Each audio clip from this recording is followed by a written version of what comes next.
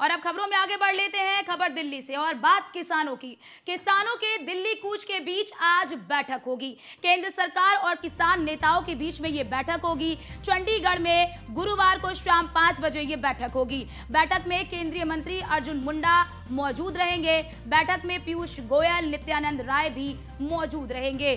तो क्योंकि किसान लगातार अपनी मांगों को लेकर सड़कों पर उतरे हुए हैं। वो तस्वीर भी आपने देखी होगी। शंभू बॉर्डर की तस्वीर आपने देखी होगी कि किस प्रकार से किसानों ने कूच किया और किसानों के ऊपर आँसू गैस के गोले छोड़े गए। उससे पहले, यानी कि आंदोलन से पहले साढ़े पाँच घंटे तक बैठक हुई। दो राउंड की बैठक हुई थी और उस बैठक में कुछ मुद्दों पर सहमति बन गई थी, कुछ मुद्दों पर सहमति नहीं बन पाई थी।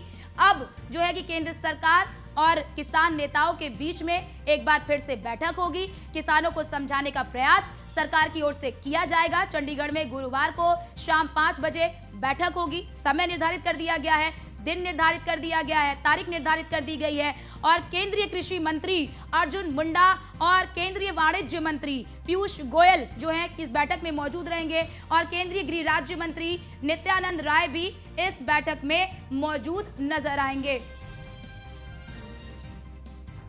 तो किसान जो है, उनसे फिर एक बार बात करने की कोशिश की जाएगी, क्योंकि लगातार किसानों माफ़ करिए, सरकार की ओर से ये कहा जा रहा है कि हम किसानों से बात करने के लिए तैयार हैं और इस समस्या का समाधान जो है, वो बातचीत के ज़रिए ही निकाला जा सकता है। इस प्रकार से सड़कों पर उतरकर किसी भी समस्या का जो हल है वो नहीं संभव है। ऐसे में किसानों को भी समझना चाहिए कि जिस प्रकार की वो मांग कर रहे हैं, उसके लिए वो पूरा एक प्रॉपर रोड मैप बना कर दे कि क्या है, कैसे है, ताकि इसे आगे बढ़ाया जा सके। और हमारे साथ हमारे संवाददाता पीयूष तिवारी लाइव जुड़ चुके हैं। पीयूष, आज की क्या स्थिति देख पा रहे हैं? क्योंकि लगातार किसानों को शंभू बॉर्डर पर तो रोक दिया गया है, लेकिन फिर से एक बार बातचीत का दौर शुरू होगा। बिल्कुल आज करीब शाम पाँच बजे के आसपास केंद्रीय मंत्री जो कि पीयूष गोयल, अर्जुन मुंडा और कहीं ना कहीं नित्यानंद राय के साथ किसान संगठनों के नेताओं की एक बड़ी बैठक चंडीगढ़ में होने जा रही है। हालाँकि किसानों का कहना है कि हम सरकार के साथ वार्ता करने के लिए तैयार हैं, लेकिन सरकार क्यों जानबूझकर हम पर आँसू गैस के गोले दाग रही है? इसके साथ ही करीब तेरह ऐसी मांगे किसानों की है, जिन पर सरकार से वो चर्चा चाहते हैं, लेकिन सोर्सेस के हवाले से जानकारी मिल रही है कि नौ से दस मांगों पर कहीं ना कहीं लगभग लगभग सहमति बन गई है।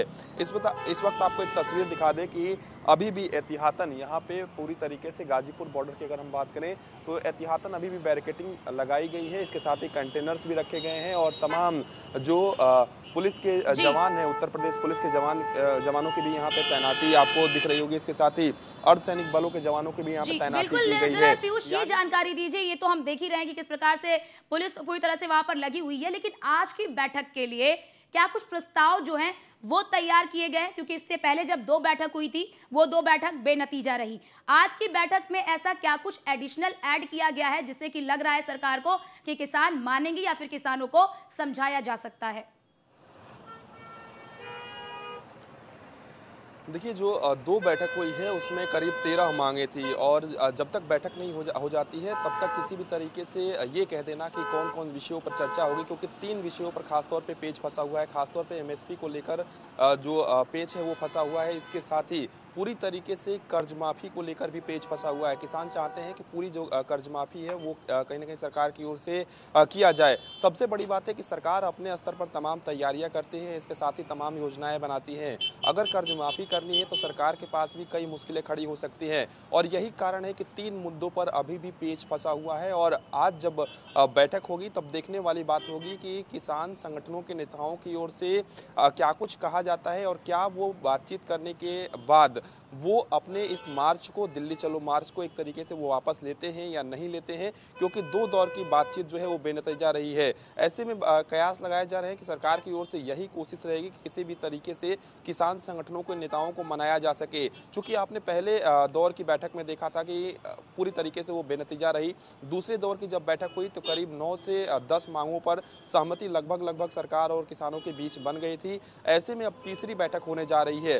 जब तीसरी बैठक होगी तब देखने वाली बात होगी कि सरकार की ओर से क्या कुछ कहा जाता है। क्योंकि सरकार ने भी फुल प्रूफ तैयारी की है कि किस तरीके से किसान संगठन के नेताओं को मनाया जा सके खासतौर पर एमएसपी के एमएसपी पर कानून को जिस तरीके से आ, किसान मांग कर रहे हैं कि उस पर एक तरीके से लिखित गारंटी हो या एमएसपी को लेकर सरकार ने जो पिछली बार वादा इन किसानों से किया था उसको सरकार पूरा करे। इसके साथ ही किसानों का ये भी आरोप है किसान संगठनों का कि जो जब तीनों नए कृषि कानून वापस पहले किसान प्रदर्शन के दौरान लिए गए थे। उसके बाद जो वादे जो कमेटी बनाई गई थी जो वादे किए गए थे उस पर सरकार जो है वो खरी नहीं उतरी है। उन वादों को पूरी तरीके से पूरा किया जाए।